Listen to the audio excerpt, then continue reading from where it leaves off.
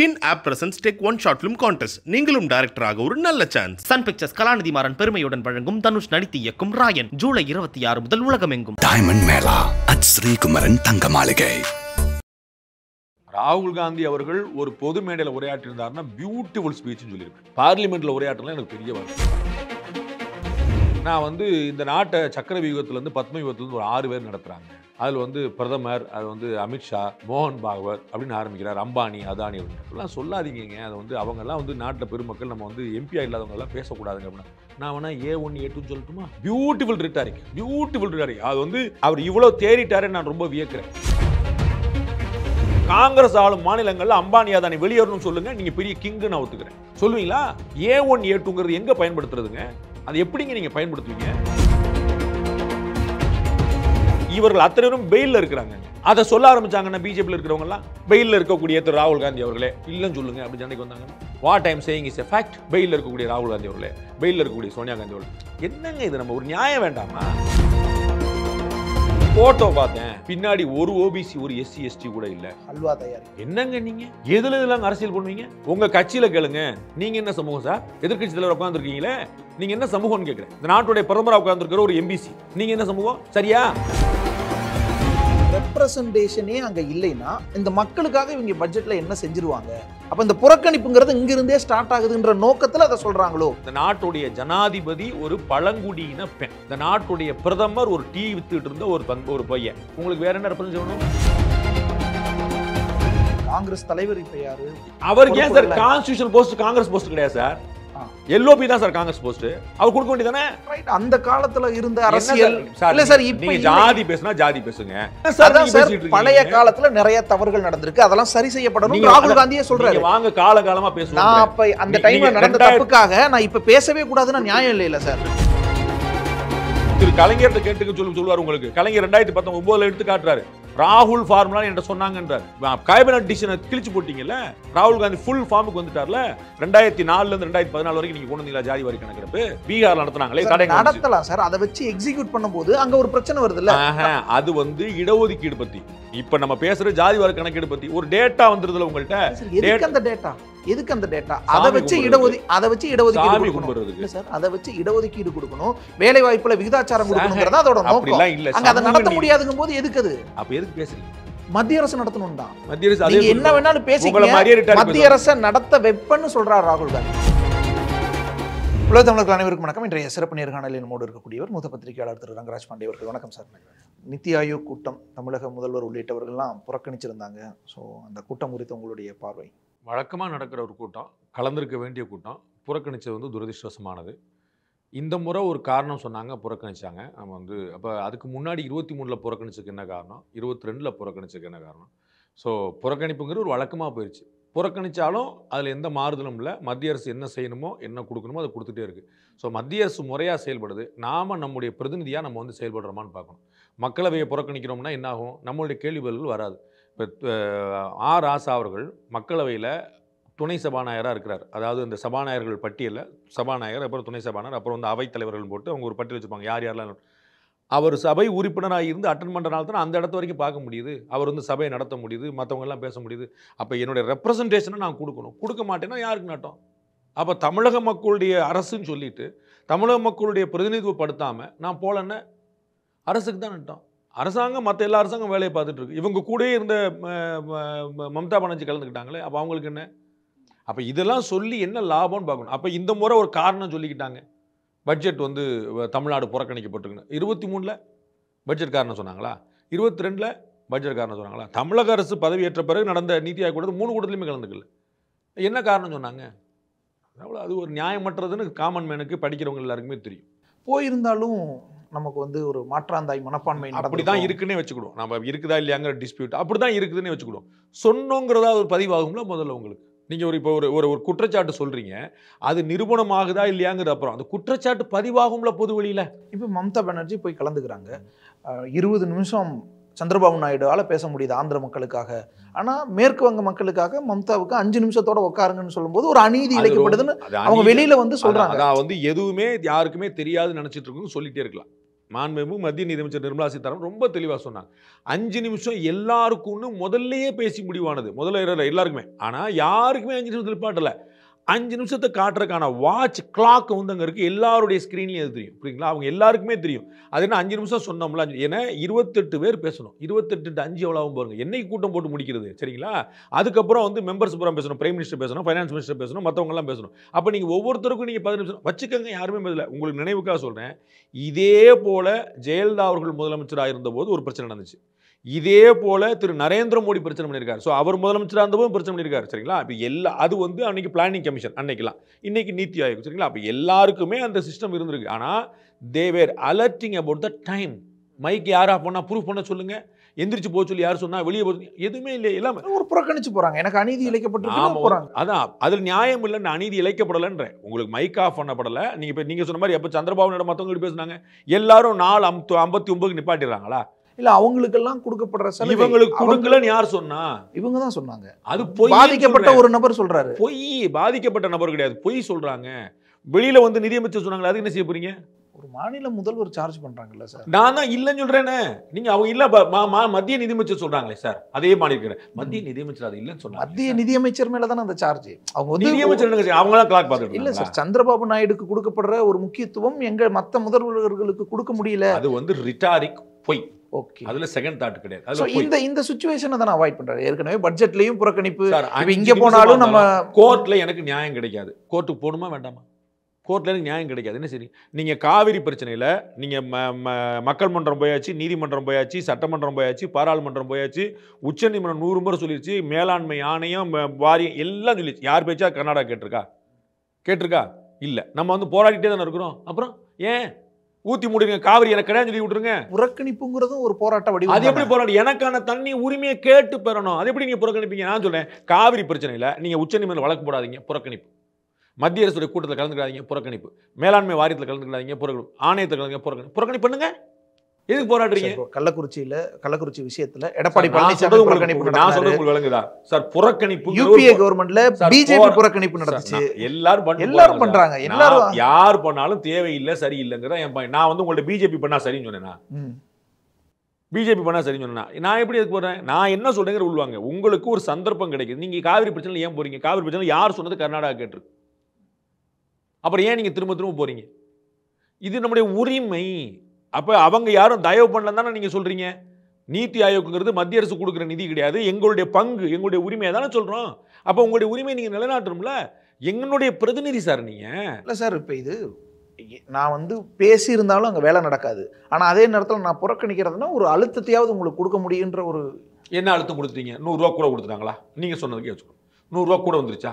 மத்திய போயிருந்தாலும் கொடுக்காது. குறைந்தபட்சம் புறக்கணிக்கிறது என்ன கேட்டீங்கன்னு? இந்த மக்களுக்கு தெரியும்ல நீங்க உங்க ஸ்பீச் கொடுத்துருப்பீங்களா? அஞ்சு நிமிஷம் மம்தா பானர்ஜி பேசுனாங்களா? பேப்பர் அனுப்பிச்சிடலாம். எங்க எங்க எந்த பேப்பர்ல உங்க பேப்பர்ல போட்டீங்களா?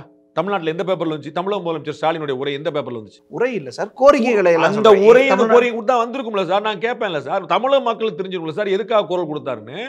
அந்த அஞ்சு நிமிஷத்துல இவர் வந்து எந்திரிச்சு என்ன குரல் கொடுத்தாருன்னா மக்களுக்காக என்ன குரல் கொடுத்தாரு தெரிஞ்சிருக்கும்ல சார்? வெள்ள பாதிப்புக்கு கேட்டிருக்கோம் மெட்ரோக்கு கேட்டிருக்கோம் இப்படி பல விஷயங்கள் கேட்டது நீங்க தான் அங்க இருக்குல்ல. சொன்னா பதில் சொல்லணும்ல அங்க பதில் சொல்ல முடியாது சார். நீங்க வந்து பொது மேடையில பேசுறதுக்கும் ரிட்டாரிக்கல பேசுறதுக்கும் ஒரு கணக்கு இருக்குல்ல சார். நீங்க அந்த இடம் வந்து ஒரு கவுன்சில் சார் அது. நீத்தி ஆயோக் வந்து முதலமைச்சரும் சார் துணை முதலமைச்சர் போறாரு பீகார்ல இருந்து. அனுமதி கிடையாதுட்டாங்க உங்களுக்கு புரியுதா? That much high level committee அது.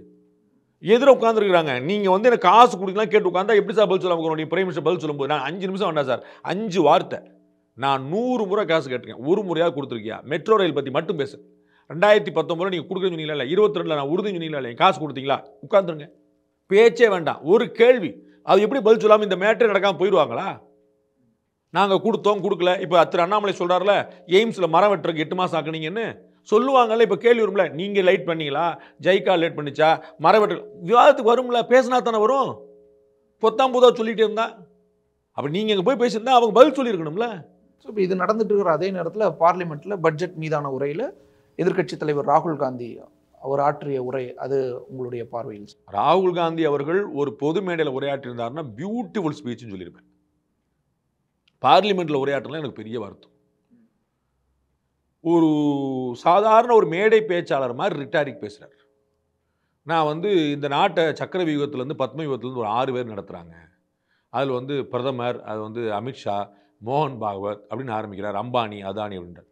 அப்படிலாம் சொல்லாதீங்க அதை வந்து அவங்கெல்லாம் வந்து நாட்டில் பெருமக்கள் நம்ம வந்து எம்பியா இல்லாதவங்கெல்லாம் பேசக்கூடாதுங்க அப்படின்னா. நான் வேணால் ஏ ஒன் ஏ டூன்னு சொல்லட்டுமா? பியூட்டிஃபுல் ரிட்டாரிக் பியூட்டிஃபுல் ரிட்டாரிக் அது வந்து அவர் இவ்வளோ தேறிட்டாரே நான் ரொம்ப வியக்கிறேன். எங்கே பொது மேடையில் பேசியிருந்தா.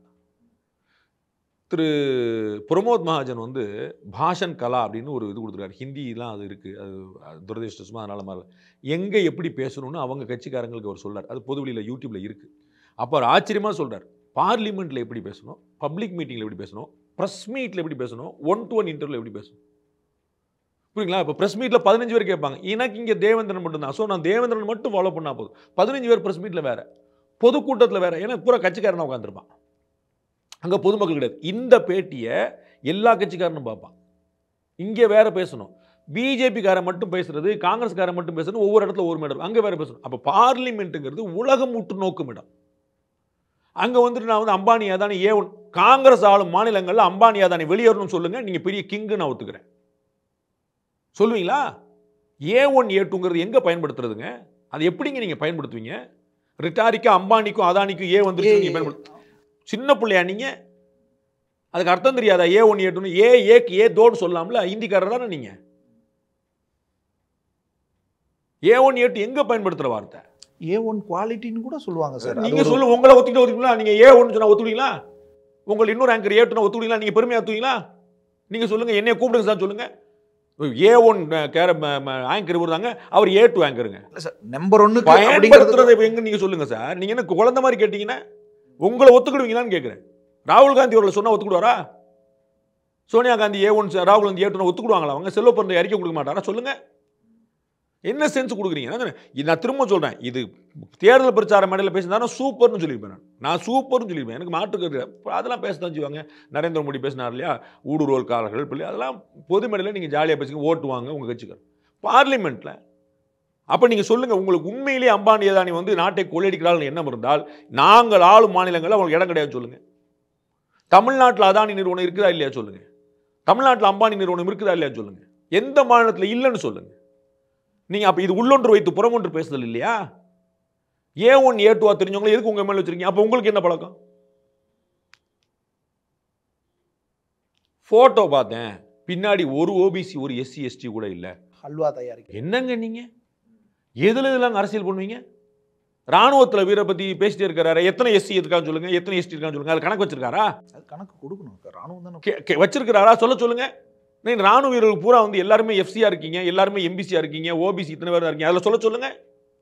ஜட்ஜஸ் கேட்க சொல்லுங்க. நீதிமன்றத்தில் கேட்க சொல்லுங்க. உங்க கட்சியில கேளுங்க. நீங்க என்ன சமூகம் சார்? நீங்க என்ன சமூகம்? எதிர்க்கட்சி தலைவர் உட்காந்துருக்கீங்களே நீங்க என்ன சமூகம்னு கேட்குறேன். இந்த நாட்டுடைய பிரதமராக உட்காந்துருக்கிற ஒரு எம்பிசி நீங்க என்ன சமூகம்? சரியா? என்ன சார் ஒரு ஒரு நியாயம் வேண்டாமா சார் இதுல? ரெப்ரசன்டேஷன் இல்லைங்கிறது தானே நான் உங்க கட்சியில எல்ஓபிக்கு ஆள் இல்லையா? நேரு இருந்தார்ல ராஜீவ் இருந்தார்ல இந்திரா இருந்தாங்கல்ல நான் நான் சொல்றதுக்கு சொல்லுங்க. வேற குடும்பத்திலே ஆள் இல்லையா? எல்லாம் என்ன கம்யூனிட்டி நான் கம்யூனிட்டி பேசுறேன். ஒரு குடும்பத்தை நான் பேசல. நேரு என்ன கம்யூனிட்டி இந்திரா என்ன கம்யூனிட்டி ராஜீவ் என்ன கம்யூனிட்டி நீங்க என்ன கம்யூனிட்டி என்ன பதவி வரும் போல உங்களுக்கு மட்டும் அந்த கம்யூனிட்டி மட்டும் தானா காங்கிரஸ் தலைவர் இப்ப யாரு? அவருக்கு ஏன் sir. Constitution post Congress post கிடையாது சார். எல்ஓபி தான் சார் காங்கிரஸ் போஸ்ட் அவர் கொடுக்க வேண்டியதானே கான்ஸ்டிடியூஷன் போஸ்ட்னா அப்ப மன்மோகன் சிங் பிரதமர் ஆனாரு. எஸ்சியா மன்மோகன் சிங் எஸ்சியா சொல்லுங்க. மூணு முறை ஜனாதிபதி தேர்ந்தெடுக்க சந்தர்ப்பம் பிஜேபி கிடைச்சது. ஒரு முறை இஸ்லாமியர் ஒரு முறை வந்து பழங்குடியின பெண் இன்னொரு முறை வந்து பட்டியலினத்தவர். அவர் அதுக்காக கொடுக்கப்படல. நல்லா. அவர்களுடைய அவர்களுடைய திறமைக்காக உழைப்புக்காக நாட்டுக்கு அவர்கள் செய்த சேவைக்காக கொடுக்கப்பட்டிருக்கு. ஆனா நீங்க கம்யூனிட்டி பேசுறீங்க. அதனால நான் சொல்றேன். பாபு ஜெகஜீவன் ராம் நீங்க பண்ணீங்களா? நீங்க பண்ணீங்களா துணை? பிரதமர் ஆக்கினாங்க. அவங்களுக்கு எதிர்வேலை அத்தனை வேலை பண்ணீங்க நீங்க. துணை பிரதமர் ஆக்கினாங்க. அம்பேத்கருக்கு எதிர்வேலை காங்கிரஸ் எவ்வளவு பண்ணிச்சு நீங்க போய் பாருங்க சார் நீங்க. விடுதலை சிறுத்தைகள் கட்சியிட்ட கேளுங்க சார். நான் சொன்னா போய் சொல்லிடுவேன்.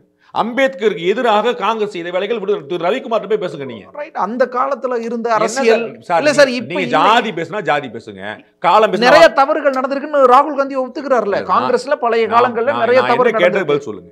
நீங்க ஜாதி பேசுறீங்க நான் வாங்க ஜாதி. ரைட் சார் அதுக்கு நீங்க இன்னும் பத்து வருஷத்துக்கு முன்னாடி நடந்தது அவர் போ- இன்னைக்கு பேசுறாரு. வாங்க போவோம். கரண்ட்டுக்கு வாங்கன்றாரு. அப்பயும் வாங்க போன்றேன் ஜவஹர்லால் நேருக்கு பாரத ரத்னா கொடுத்தது யாரு? காங்கிரஸே தான். காங்கிரஸே இல்ல அவரே தான். இந்திரா காந்தி கொடுத்தது யாரு? அவரே தான் இப்போ நரேந்திர மோடி கொடுத்துருந்தாரு விட்டுருப்பீங்களா சார்?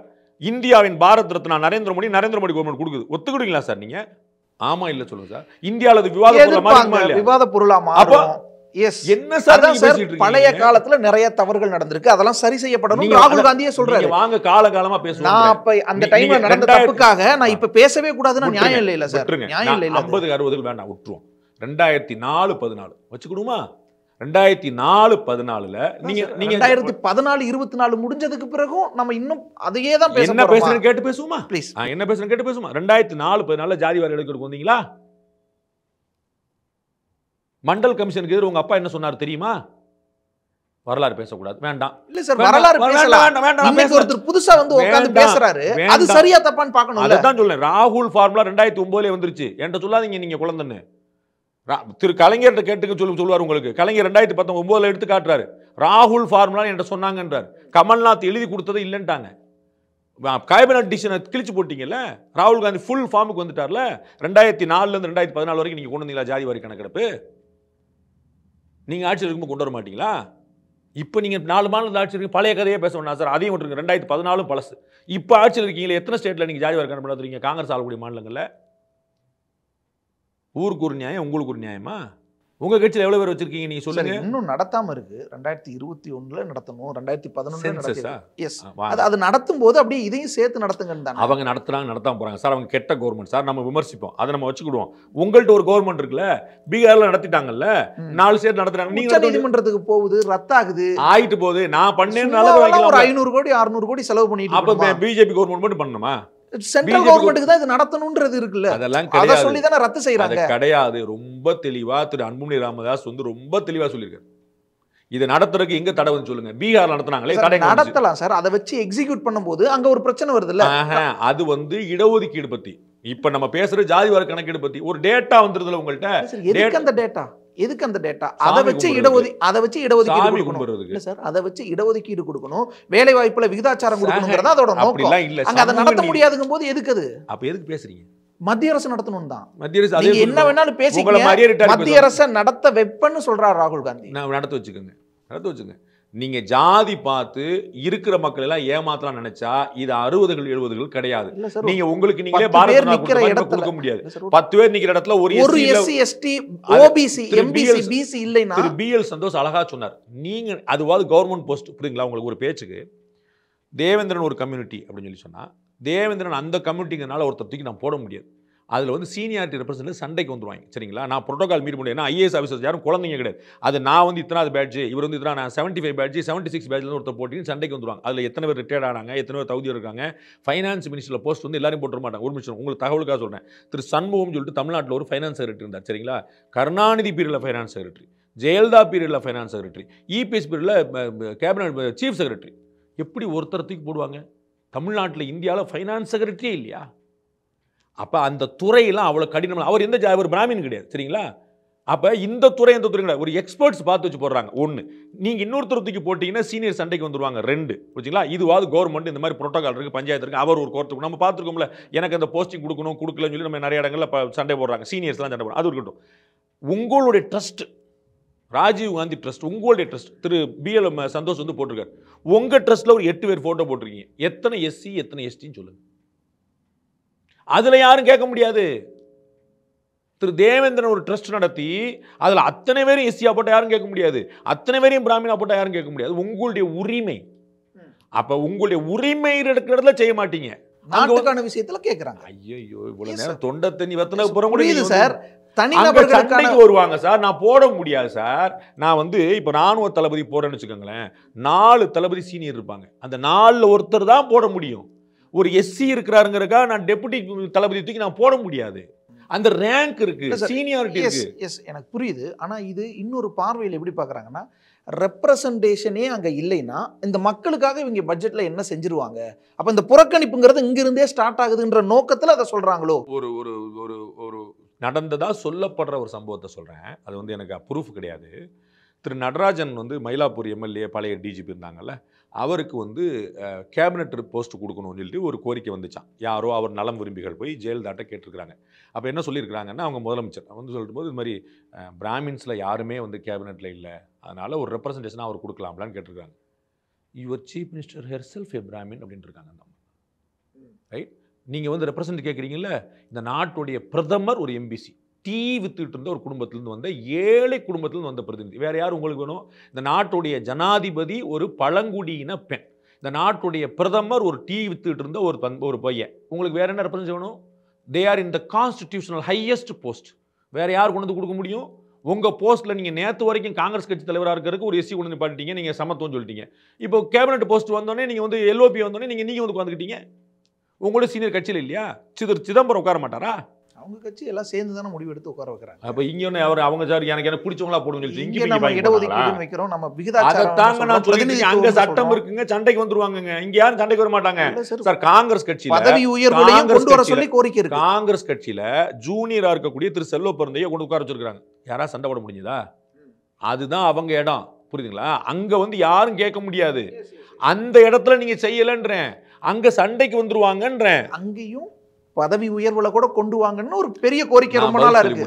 நீங்க ஏதாவது குழந்தை. மாதிரி பேசினா நீங்க கோரிக்கை இருக்கின்ற ராமதாஸ்ல இருந்து பலரும் கேட்கிற கோரிக்கை அவங்க. எல்லாத்தையும் நீதிமன்றம் வரைக்கும் போய் என்ன இருக்குதோ நான் தான் சொல்ல உங்களுக்கு ராணுவத்துல போய் கேளுங்க. நீதிமன்றத்திலே போய் கேளுங்க. பாஸ் நீங்க எத்தனை பேர் என்னென்ன ஜாதின்னு சொல்லி சொல்லுங்கன்னு கேளுங்க. அதுக்கெல்லாம் முடிங்க இங்க வாங்க பேசு. அங்க சண்டை வந்துருவாங்க சார். ஒரு சீனியரை நீங்க போட முடியாது சார். அதே சட்டத்துல அவங்க நிப்பாங்க சார். சார் இதுக்கு ராகுல் பேசும்போது நிர்மலா சீதாராமன் அவர்கள் முகத்துல கை வைப்பாங்க. அது ஒரு ஆமாம் இதை மாதிரிலாம் பேசுகிறாங்க அவங்க அந்த அம்மா என்ன செய்வாங்க? அவங்க ஒரு கான்ஸ்டியூஷன் போஸ்ட்டில் இருக்கிறாங்க. என்ன செய்வாங்க? நானாவது இப்படி வந்து சொல்லி அவங்களால சொல்ல முடியாது. அவங்களுக்கு வந்து பொறுமை தேவைப்படுது. அப்போ அவர் பேசி முடிச்சோடனே பாதுகாப்புத்துறை அமைச்சர் எந்திரிச்சு பேசுகிறார் நிதியமைச்சர் ஃபுல் டீட்டெயிலாக சொல்லுவாங்க. ஆனால் ஒரு ஒரு வைத்தறிச்சல நான் ஒரு விஷயத்த சொல்லிடுறேன்.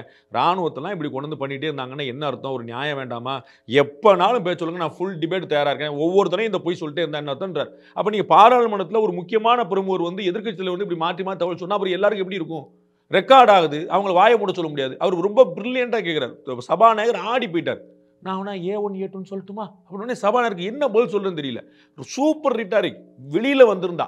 அது மேடையில இருந்தா அருமையான மேட்டர். நீங்க அங்க போய் அப்படி விளையாட அவங்களுக்கு தெரியாது? யாரும் பேச வேணாம்னு சொல்ல மாட்டாங்க. எப்படி இல்லைங்க. அப்படி ஒரு நிமிஷம் இருக்குங்க இவர்கள் அத்தனை பேரும் பெயில்ல இருக்கிறாங்கங்க. அதை சொல்ல ஆரம்பிச்சாங்கன்னா பிஜேபியில் இருக்கிறவங்க எல்லாம் பெயில்ல இருக்கக்கூடிய திரு ராகுல் காந்தி அவர்களே இல்லைன்னு சொல்லுங்க. அப்படி சண்டைக்கு வந்தாங்கன்னு. What I'm saying is a fact பெயிலில் இருக்கக்கூடிய ராகுல் காந்தி அவர்களே பெயிலில் இருக்கக்கூடிய சோனியா காந்தி அவர்கள் என்னங்க இது நம்ம ஒரு நியாயம் வேண்டாமா? ஜெயராம் ரமேஷ் எப்போ அறிக்கை கொடுத்தாலும் இந்த கடவுளின் குழந்தையான நரேந்திர மோடி பயாலஜிக்கலாக பிறக்காத நரேந்திர மோடி இப்படியே சொல்கிறார் அவங்க சொல்றதுக்கு எவ்வளோ நேரம் ஆகும்? திரு ஸ்டாலின் அவர்கள் வாய்தாராணி வாய்தாராணி சொல்லிட்டு இருந்தார். பொது மேடையில் பேசுங்க அது அரசியல். ஜெயலலிதா வாய்தா வாங்கிட்டு இருக்காங்க வாய்தா வாங்கிட்டு இருக்காங்க ஜெயலலிதா சொல்லிட்டாங்க மைனாரிட்டி கவர்மெண்ட் மைனாரிட்டி கவர்மெண்ட் அதெல்லாம் நீங்கள் பொது பேசுங்க ஒன்றுமே பிரச்சனை இல்லை. அது சரி அது அரசியல் அப்படி தான் போயிட்டு இருக்கணும் பார்லிமெண்ட்டில் உட்காந்து பேசுனா அதுக்கு ஒரு ஃபோரம் இருக்குங்க. பொய்ன்னு சொல்லக்கூடாது ஏங்க சொன்னீங்க நீங்கள் என்னென்ன வார்த்தை பயன்படக்கூடாதுன்னு ஒரு பெரிய லிஸ்ட் இருக்குங்க. அந்த வார்த்தையை பயன்படுத்தும் ஏங்க சொன்னீங்க அதெல்லாம் ஆன்றோர் அவை மக்களுக்காக பேசுவாங்கன்னு ஒரு எண்ணம். அங்கே உட்காந்து ஏவன் சொல்லுவோம் ஏவன் ஏவட்டுக்கு உங்களுக்கு என்ன சம்மந்தம் நீங்கள் ஆல்ரெடி ஸ்டேட்டில் எதுக்கு வச்சிருக்கீங்க? அதானி நீங்கள் பூரா வெளியே போகணும்னு சொல்ல வேண்டியதானே என் நாடு கொண்டாடட்டும் உங்களை. இப்படிப்பட்ட தலைமையா? இப்படிப்பட்ட கொள்கை பிடிப்பா? அப்படின்னு. இது என்ன தாக்கத்தை சார் ஏற்படுத்தும்? ராகுல் காந்தியுடைய ஸ்பீச் இன்னும் இந்த கட்சிக்காரங்களாம் உற்சாகமாக இருப்பாங்க. "ஏ, சூப்பர்ப்பா. நம்ம நினச்ச மாதிரி இல்லை தலைவர். பின்னிட்டார் வேற எந்த பிரதமர்? யார் பிரதமர்? மாறிட்டாங்களா? யார் நிதியமைச்சர்? மாற போகிறாங்களா யாரும் மாற மாட்டாங்க வெளியில் கட்சிக்காரங்க திரு செல்வ பிறந்தைக்கு போல திரு பீட்டர் அல்ஃபோன்ஸ் போல திரு இவி கே செல்வங்களும் கட்சிக்காரங்க எல்லாரும் ஆ, அண்ணன் பின்றாரு. நம்ம நினச்ச மாதிரி இல்லை. இந்த மாதிரி எல்ஓபி ஆனப்புறம் பின்றாரு. நானே ஆமான்றேன். நான் பியூட்டிஃபுல்லான ஸ்பீச்சுன்றேன் பார்லிமெண்ட்டுக்கு வெளியே இருந்தால் சேர்த்தே சொல்லுவேன்.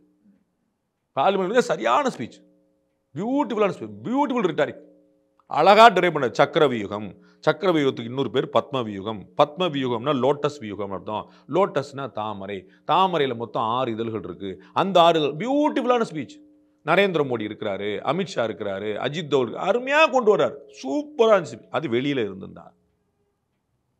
நீங்கள் எப்படி மோகன் பாகத்தை சொல்வீங்க? அது மாதிரி அவங்க நேருவை சொன்னால் என்ன செய்வீங்க நீங்கள் அவர் எங்கே வர்றாரு இங்கே?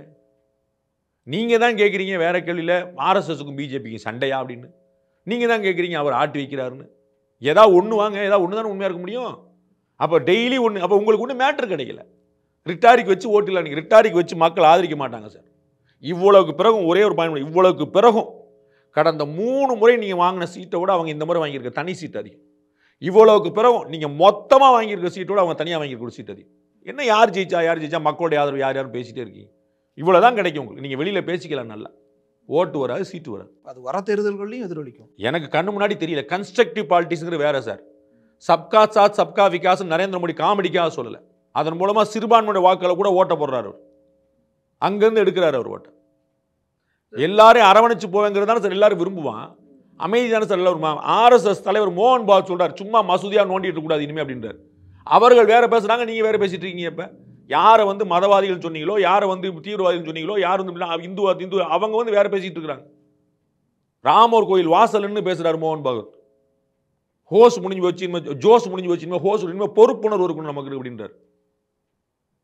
அவங்கெல்லாம் வேறு பேச ஆரம்பிச்சிட்டாங்க வளர்ச்சி பற்றி பேசணும் அப்படின்றார். சார் இப்போ இது ராகுல் காந்தியோட ஸ்பீச்சில் பட்ஜெட் இதெல்லாம் தாண்டி பாஜகக்குள்ளேயே பிரச்சனை இருக்கு. பிரதமர் மோடியால் மட்டும்தான் பிரதமர் கனவை காண முடியும். ராஜ்நாத் சிங்கால எல்லாம் அது காண முடியாது. ஒருவேளை அவர் ஆசைப்பட்டா பிரச்சனை வரும் அவருக்கும் அப்படின்ற அவங்களுக்குள்ளேயே கூட கழகம் நாளைக்கு காங்கிரஸ் ஆட்சிக்கு வந்தா யார் பிரதமர் ஆவா? பதில் சொல்லுங்க இல்ல சிரிக்கல அது அந்த எம்பிக்கள் தான் முடிவு. அப்புறம் இங்க மட்டும் யார் முடியுமா இங்க மட்டும் யார் முடியுமா நீங்க கள்ள ஓட்டு போட்டீங்களா நரேந்திர மோடிக்கு? அந்த எம்பிக்கள் தானே முடிவு பண்ணாங்க? மூணு முறையும் தேர்தலுக்கு முன்னாலே சொல்லி தீர்மானிச்சு மக்கள் ஆதரிச்சு எம்பிக்கள் ஆதரிச்சு வந்த பிரதமர். சொல்லி வச்சு வந்த பிரதமர். சொல்லாம வந்த பிரதமர் இல்ல.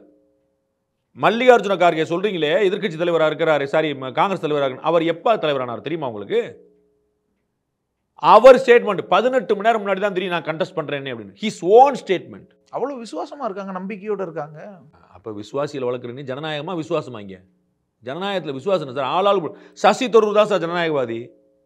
காங்கிரஸ் தலைமை நிறுத்துன்னு சொல்லி அதுக்கு அப்புறமும் கேண்டிடேட் நிற்பேன்னாரு அவர் தமிழ்நாட்டுல அந்த ஜனநாயகம் இருக்கு. அந்த ஜனநாயகம் பேசாம இருக்கு சார் அந்த. ஜனநாயகம் இருக்குல்ல. அவர்? அதற்கு பிறகும் எம்பி ஆகிறாரு. தமிழ்நாட்டுக்கு அதற்கு பிறகும் போட்டியிடுறாரு. ஜெயிக்க மாட்டாங்க வேற யாரையும் போட்டா?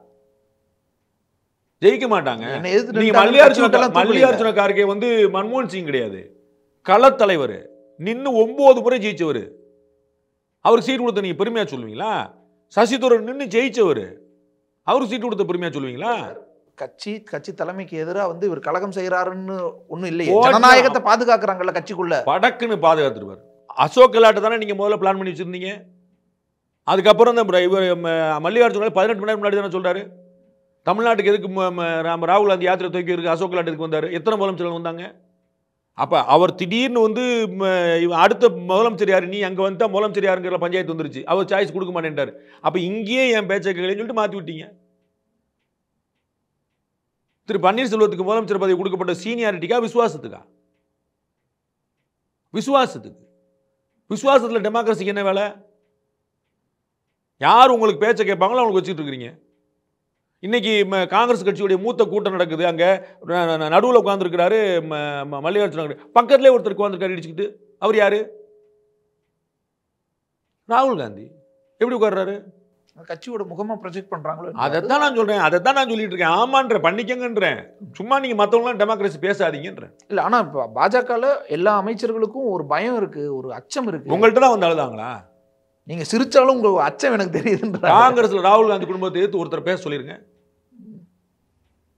ஒருத்தர் பேச சொல்லி அவங்க முடிவுக்கு எதிராக போட்டியிட்டு அவங்க கூடயே இருக்க முடியுதுல்ல சார். சார். முடிவுக்கு எதிரா போட்டி இல்ல சார். நீங்க தேர்தல் வச்சாலும் போட்டி முடிவுக்கு எதிரா இல்ல சார். அது எப்படி சார்? தேர்தலை மல்லிகார்ஜுன கார்கே நிறுத்துறாங்கன்னா ஆப்போசிட்ல நிக்க முடியுது. ஆனா அவங்க கூடவே இருக்க முடியுது. அது அவங்க செட்டப் என்னமோ அது நீங்க தான் சொல்லணும். எனக்கு தெரியாது. நான் டெமோக்ராட்டிக்கலா நினைச்சு நினைச்சு நட- நடந்துச்சு நான் நினைக்கிறேன். சோ இப்போ இது ராகுல் காந்தியோட இந்த பேச்சுங்கிறது உட்கட்சியில சார் முழுக்க பயமுறுத்துறாங்க சார். மன்மோகன் சிங் வந்து அவங்களுடைய பிஏ புஸ்தகத்தில் இருக்கார். நரசிம்மராவுடைய சடலம் காங்கிரஸ் ஆபீஸ்க்குள்ள என்ட்ரி ஆக முடியல சார்.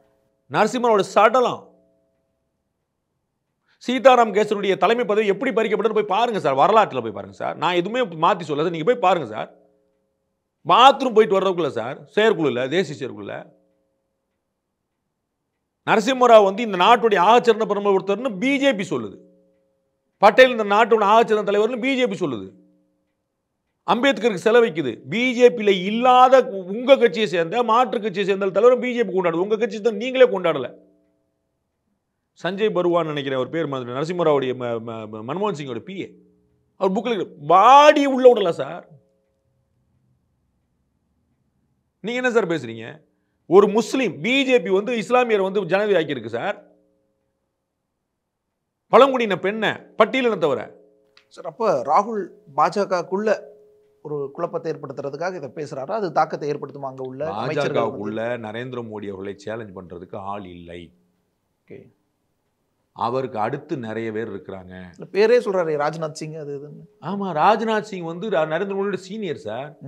ஏஜ்ல கம்மி. சீனியர் அவர் வரிசை அவங்க கால் மேல கால் போட்டு உட்காந்துருப்பாரு ஆனா வரிசையில் உட்காந்துருப்பாரு அவங்க எல்லாம் வந்து சங்கத்தின் வழி வந்தவங்க ஒருத்தங்க கூட மாத்தி பேச மாட்டாங்க. ஒருத்தங்க கூட மாத்தி பேச மாட்டாங்க. அங்க கேப்பபிளான ஆட்கள் பத்து பேர் இருக்கிறாங்க.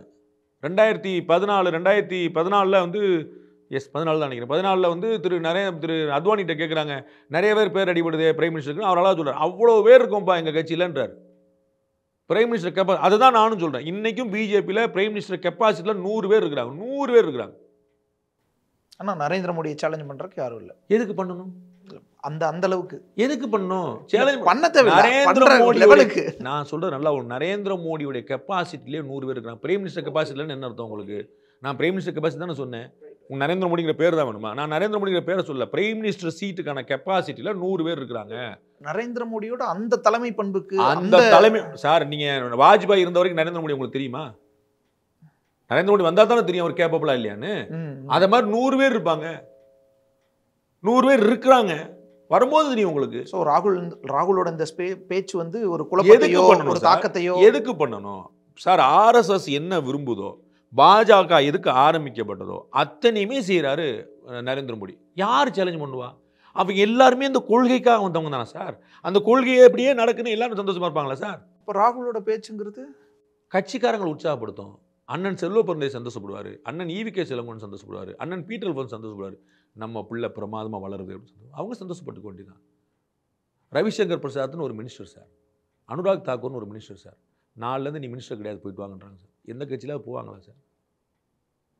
அது பார்ட்டி வித் டிஃபரன்ஸ் சார். நீங்கள் நினைக்கிற மாதிரி கிடையாது. இதை நான் சொல்ல சார் சண்டைக்கு வருவீங்க. திரு திருமாவளவன் சொல்லியிருக்கிறார். பிஜேபி மாதிரி ஆர்எஸ்எஸ் மாதிரி ஒரு இயக்கத்துடைய பாராட்ட திரு திருமாவளவன் வாயில கேளுங்க நீங்கள் போய். அந்த டிசிப்ளின் நீங்கள் பார்க்க முடியுமா எங்கேயாவது? கோச்சிக்கிட்டு போய் சரத்பவார் தனி கட்சி ஆரம்பிச்சுடுவார் கோச்சிட்டு போய் மம்தா பானி தனி கட்சி ஆரம்பிச்சுடுவாங்க கேரளாவில் இருக்கக்கூடிய காங்கிரஸ் கட்சி பூரா காங்கிரஸ் உடஞ்ச கட்சி. இங்கே ஒரு தாமாக்கா உருவாயிரும். ரிபல் பண்ணிடுவாங்க அங்கே பேசாமல் போவாங்க. நாலுலேருந்து அண்ணாமலை தான் மாநில தலைவர்னா சீனியர் மோஸ்ட் பொண்டாலேசன் சரின்னு கேட்டு உட்காந்துருப்பார் எடியூரப்பாவும் தனியா போய் கட்சியெல்லாம் ஆரம்பிச்சாரு. திரும்பி வந்துட்டார்ல. திரும்பி வந்துட்டார்ல? சரத்பவார் திரும்பி வந்தாரா? மம்தா பானர்ஜி திரும்பி வந்தாங்களா? மூப்பனார் போயிட்டு திருப்பி வந்தாரு. திரும்பி போனாரு. போனாரு வந்தாரு போ- சொல்லுங்க உங்களுக்கு என்ன உண்மை. அங்க இருக்க முடியல சார் உங்களால. இவங்களால வெளியே இருக்க முடியல. அவங்களால உள்ள இருக்க முடியல. See the difference. அண்ட் வெளியே போய் ஜெயிச்சாங்க அதை மறந்துடாதீங்க. அவங்க வெளியே போய் தோத்தாங்க. உமாபாரதி வெளியே போய் தோத்தாங்க.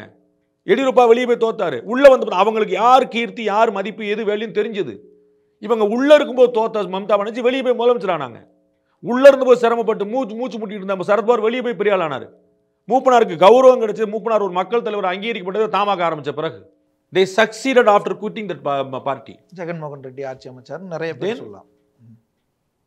இப்போதான் ஏன் வழிக்கு வர்றீங்க சோ ராகுலோட பேச்சுங்கிறது அவங்க கட்சிக்கு அந்த அதன் நல்ல உற்சாகம் சார்பாளர்களுக்கு. நல்ல உற்சாகம் கொடுக்கும். பாஜகவுக்கு? உண்மை கொடுக்காது ரிட்டாரிக்கு அவங்க வந்து திரு திருமதி நிர்மலா சீதாராமன் ரியாக்ஷன் தான். நன்றி சார் உங்களுடைய நீங்கள் பண்ணுறது நன்றி.